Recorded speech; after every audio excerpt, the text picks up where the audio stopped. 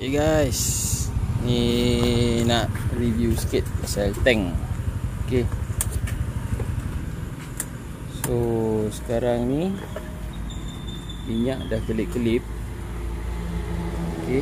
Dekat trip A. Lepas isi penuh hari tu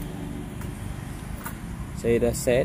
So sekarang dah 158.8 km So dia dah kelip-kelip. Kita tak tahu berapa banyak lagi minyak dalam tank. Jom tengok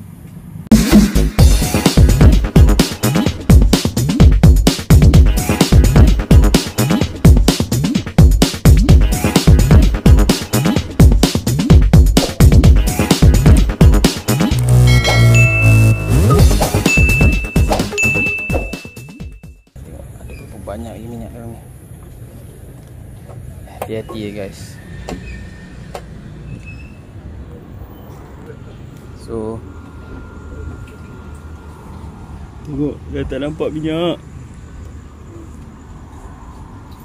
Okay Minyak dah tak nampak. Dia dekat sini je lah Kat bawah ni. Mungkin separuh dari sini.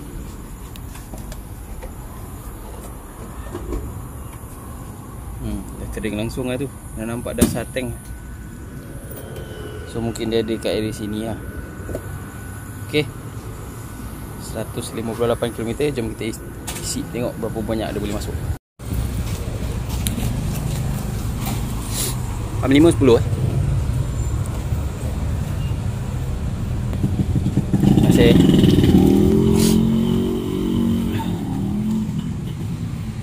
Dah pergi kaunter Bayar RM10 Kita isi tengok berapa banyak boleh penuh. Okay guys. Saya kena stop video eh Nak isi minyak. Okay guys tengok minyak banyak tu Sampai bibir. Ni pun dah keluar sikit dah tumpah. RM4.7 sen Nampak tak? Okay Jom ambil duit balance kat kaunter. Guys Minyak tumpah ni Kena nak siram.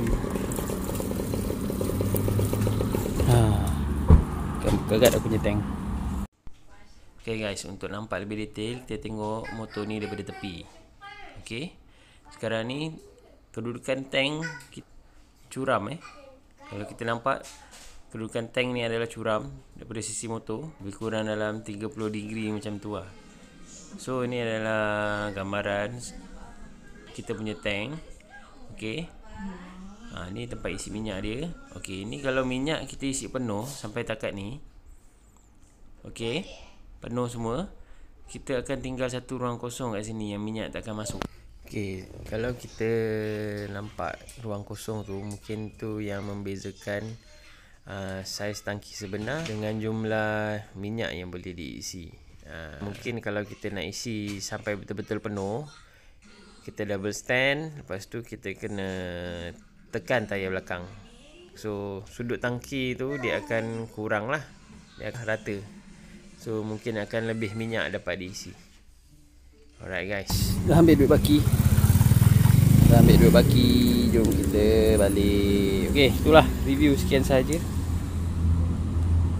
So Kita kira-kira lah kan ha, Tengok tiap kali kat pump minyak macam ni lah bergaduh Dengan seat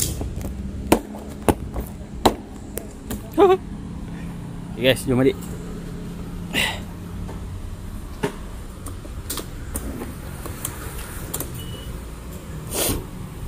安照。